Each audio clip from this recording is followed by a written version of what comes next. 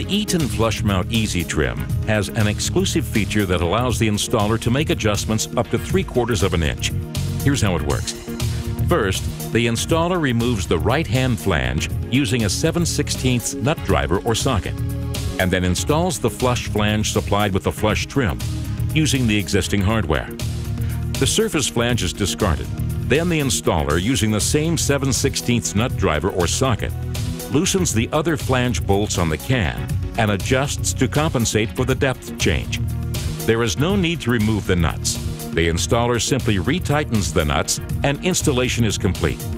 Remember, surface applications do not require any adjustment to the box, which account for more than 80% of the usage. With the Flush EZ trim, you have the ability to correct wall irregularities and can save thousands of dollars on rework with fewer headaches for you adjustable flush mounted panels, an Eaton exclusive.